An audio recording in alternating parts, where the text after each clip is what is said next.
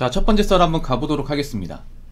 댓글 컨텐츠고, 영상 제목, 이제 과거의 대한민국으로 돌아가기는 힘들다. 라는 영상이 달린 댓글입니다. 어, 지금 우리나라는 여태까지 가보지 않은 길을 가고 있어요. 굉장히 안 좋은 길을 가고 있습니다. 여러분 아시죠? 그리고 그 어떤 나라도 가보지 않은 방향대로 가고 있습니다. 일단 뭐 객관적으로 출산율은 개떡락하고 있어요. 개떡락.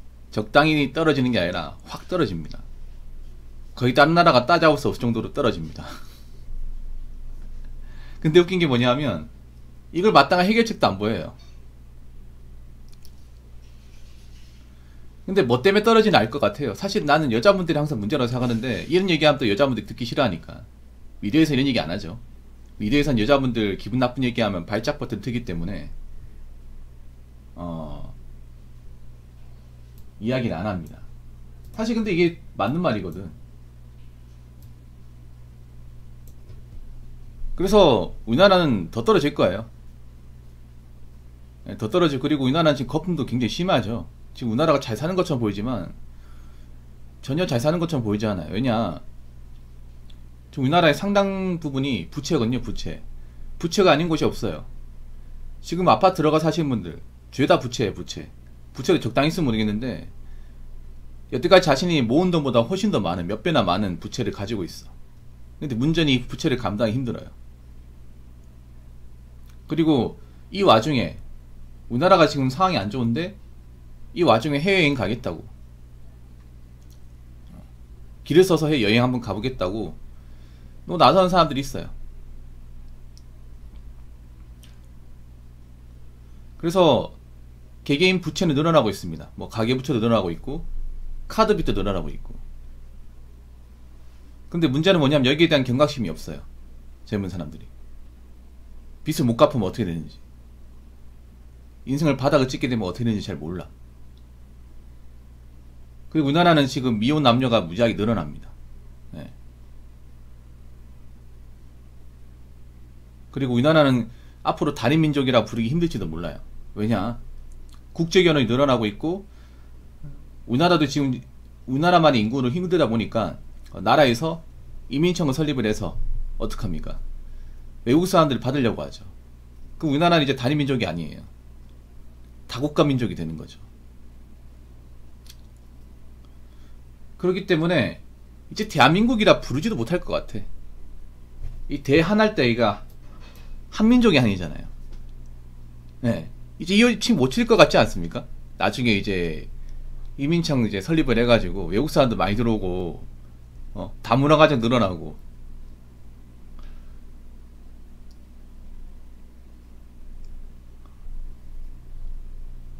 외국인들이 그 자리 차지하면 이제 대한민국이라는 한자도 빼야 될 것 같아. 한민족이 아니니까.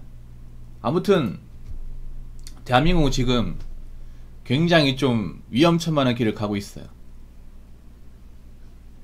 그래서 과거에 뭐 남녀가 이렇게 좀 웃고 떠들고 그리고 결혼이 쉽게 하고 그런 세상이 오지 않을 겁니다. 근데 문제는 뭐냐 하면 그런 거예요. 뭐 지금 대한민국 과거로 돌아가기 힘들어도 그럼 과거 돌아가기 힘들더라도 어떻게 살아야 될 거 아닙니까? 잘 살아야 되죠. 근데 잘 살려면 나름의 준비가 필요해요. 근데 준비가 다 허술해. 일단 자본주의는 무조건 돈이에요, 돈. 돈을 많이 벌거나 돈을 많이 모으거나 둘 중에 하나 해야 되는데 돈을 많이 벌지도 못하고 돈을 많이 모으지도 못해요. 오늘 돈을 쓰고 있습니다. 돈을 쓰면서 어, 미래 대비는 안 하신 분들이 많아요.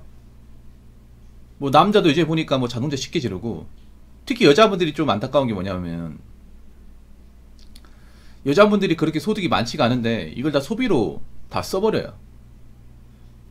그래서 여자분들 지금 소비 지수가 말도 안 돼 올라갔습니다. 뭐 명품 구매율은 여러분 아시겠지만 전 세계 1등이고 해외여행 가는 비중도 전 세계 탑 클래스입니다. 그렇다고 여자분들이 뭐 능력이 좋거나 돈을 많이 벌거나 집이 잘 사거나 하는 것은 아니에요. 해외여행은 옛날이나 지금이나 돈이 많이 들어요. 근데 쉽게 갑니다. 별로 그렇게 많이 벌지도 않고 잘 살지도 못하는 사람 쉽게 가. 근데 문제는 뭐냐 하면 갔다 오고 나서 안 불안하냐? 이거죠. 저는 사실 여자분들이 굉장히 불안해요. 앞으로 감당할 수 있을지 난 의문이야. 왜냐하면 뭔가 뒤가 없는 사람 같아요. 전 어떻게 그럴지 빤히 보이거든요. 아니 자본주의에서 능력도 없고 돈도 없어. 그럼 그냥 빈껍데기 인생이에요. 나쁘게 말하면 빈껍데기 인생.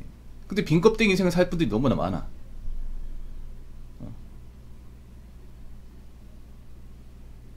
젊은 사람들 요즘에 보면 길가에 뭐 좋은 물건 착용하고 있고 좋은 차 몰고 있고 겉으로는 뭔가 멋진 것 같지만 속은 굉장히 불안해 보여요. 언제든지 위기가 오면 쓰러질 것 같은 풍 나기처럼 그런 사람들이 여기저기 널려 있어요. 불안 불안합니다. 약간 풍정동화 같아.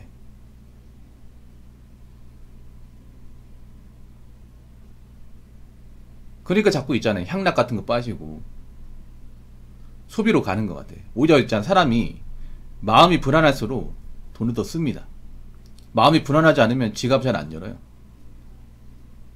왜냐 소비를 해도 내 마음을 채울 수 없다는 거 알기 때문에 근데 꼭 없는 분들이 뭔가 좀 하루가 불안하고 뭔가 좀 기약이 없는 분들이 소비로 많이 가요. 근데 그게 더 안 좋은 거야. 왜냐? 뭐 돈이 모이지가 않으니까. 모이려면 돈만 쓰니까 이제 쓸 때는 좋은데 시간 지나면 똑같은 거죠, 이게. 그래서 앞으로 대한민국은 과거에 걸어왔던 모습이 절대 아닐 거예요. 제 생각엔. 대한민국 할 때 한자도 빼야 될 것 같아요. 옥탄이 그렇죠? 예. 이제 이거 빼야 될 것 같아. 이 명칭 바꿔야 될 것 같아, 이제. 대합민국으로 바꿔야 돼. 대합민국. 왜냐? 이제 다민족 국가가 될 거잖아요. 예. 이제 한이라는 말 못 붙일 거야, 아마. 한국이라는 말도 이제 한이라는 말이 과거형이 되지 않을까요? 지금은 쓰고 있지만 앞으로 시간이 흘러가서 어 우리나라가 이제 한국 사람보다 다른 나라에서 이제 온 사람들이 많으면 이 단어도 못 쓸 것 같아. 물론 이건 시간이 지나봐야 알 수 있는 거지만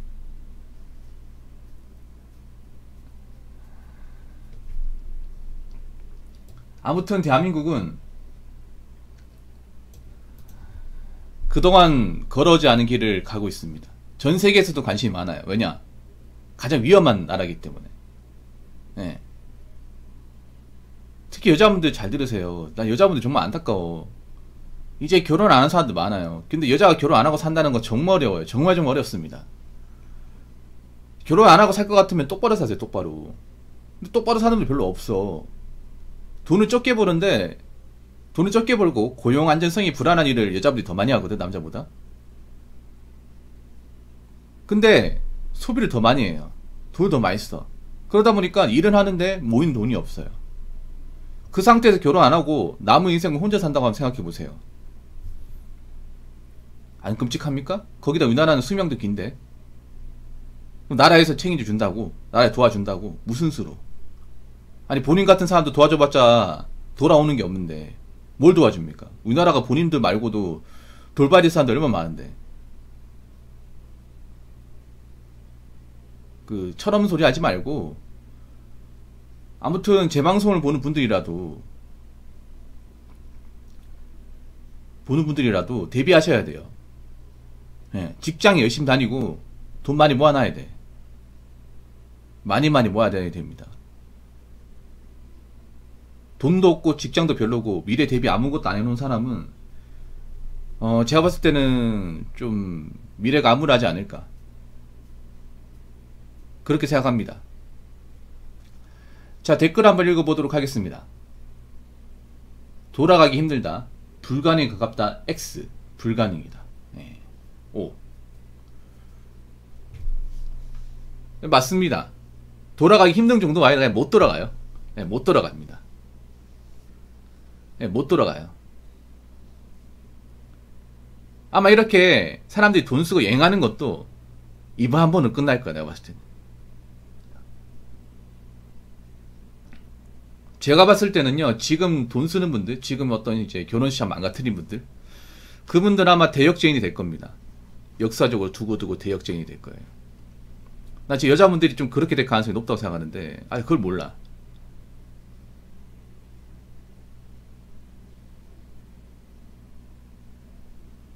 나중에 이제 혼인이 떨어지고 우리나라가 이제 빚잔치 생기고 하면 이 원인을 제공한 사람이 누군지를 따질 거예요. 따질 겁니다. 예를 들어서 우리나라가 지금 문제가 뭐냐 하면 지금 남자들이 별로 없어요. 그러니까 이제 그 이제 태어난 애들이 없다 보니까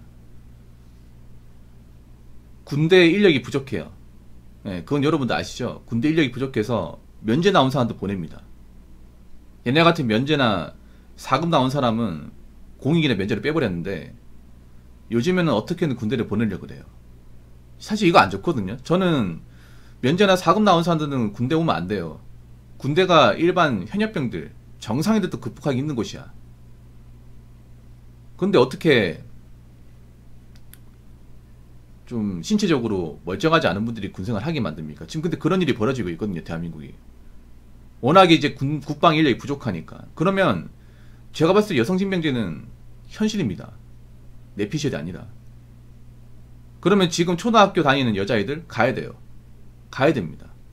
점점 공론화 됩니다. 왜냐, 우리나라는 휴전 국가이기 때문에 누군가는 국방을 지켜야 되거든요. 지켜야 됩니다. 그러면 여자들 가야 돼. 가면 어떤 말 나온지 아세요? 왜 우리가 여지껏 군대를 안 갔는데 여자가 군대를 가게 됐냐? 원인이 무엇이냐? 이걸 따질 겁니다. 그 누구한테 책임 물을까요? 지금 여자분들. 지금 여자분들. 두두 까입니다, 이게. 난 진짜 걱정되는 게 다구리, 다구리 먹을 것 같아, 이게. 어. 이미지가 너무 안 좋거든, 이게. 너무너무 안 좋아. 왜 이런 거 가지고 뭐라 하냐 생각할 수 있겠지만 충분히 근거가 됩니다. 근거가 돼요. 지금 여자분들 살기 좋은 것 같아도 이거 한순간이 한순간 살기 좋은 게 아니라 살기 좋은 것처럼 보이는 거예요. 잠깐 살기 좋은, 좋은 것처럼 보이고 나중에 한번 엎어지면 정말 살기 힘들어집니다, 이게. 뭔가 착각을 해. 미디어에서 자꾸 여자분들 띄워주고 뭔가 자주 비춰주고 하다 보니까 정말 살기 좋은 것좀 착각을 하는데 살기 안 좋아. 당장을 볼 게 아니라 10년, 20년 뒤를 봐야 될 거 아니에요. 10년, 20년 뒤. 제가 항상 얘기하는 게 여자분들 결혼 안 하면 절대 다수는 힘들어요. 옥탄이 그 오늘 그 뭐야 1인 가구 보여줬죠. 소득이 굉장히 작아요. 그 돈까지 서울에 어떻게 생활을 해? 어, 여자분들 1인 가구 하시는 분들 상당수가 서울이나 이제 수도권 같은 데서 살고 있는 사람들이 많거든요. 근데 그런 데 살아도 월급이 적어요. 굉장히 적어. 옥탄이 그 생각 안 들어요? 야, 이 월급 가지고 어떻게 서울에서 방구하고 살지? 오피스를 어떻게 구하는 거야? 아, 이래서 마통을 뚫는갑다. 이 생각이 들죠. 돈 모으는 거 진짜 포기하겠네. 와, 결혼도 안 하면 나중에 어떻게 살려고 그러지? 지금 살기 좋은 게 아니라 살기 좋은 것처럼 이렇게 좀 콩깍지를 먹인 겁니다. 콩깍지를 먹인 거예요. 여자들이 거기 놀아 하는 거고. 띄워주니까. 어, 미디어에서 띄워주고 이렇게 치켜 올려주니까 어, 정말 사기 좋은 것좀 착각을 하는데 한번 시간이 지나고 나서 지금 당장이 아니라 5년 뒤 10년 뒤 지나고 나서 정말 사기 좋았는지 아니면 우리가 거기에 놀아나는지 한번 잘 생각해 보세요. 지금 제가 봤을 때 여자분들 미디어나 SNS에서 좀 마구잡이 이용이 먹는 것 같아요. 돈을 쓰게 하기 위해서. 한번 생각해봐. 여자분들 언제부터 오마카세를 좋아했고, 언제부터 탕후를 먹었고, 언제부터 해외여행을 자주 가기 시작했고, 언제부터 명품을 그렇게 좋아했습니까? 갑자기 이렇게 됐어, 갑자기. 네.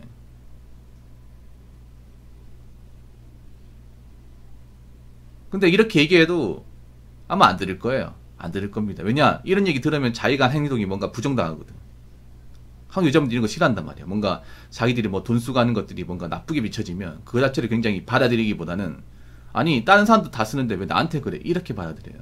감정적이잖아. 예, 기분과 감정으로 세상을 판단하기 때문에 아마 제가 이런 얘기하면 강한 부정을 보이지 않을까 싶어요. 뭐 지금 당장 그럴 수 있어요. 나중에 시간이 지나고 나서 정말 경제 어렵고 일자리 구하기 힘들고 금리 올라가서 빚 갚기 힘들면 그때 가서 한번 생각해 봅시다. 어차피 지금은 제가 이런 얘기해도 먹히지 않을 거니까. 자, 이상으로 첫 번째 썰 마치도록 하겠습니다.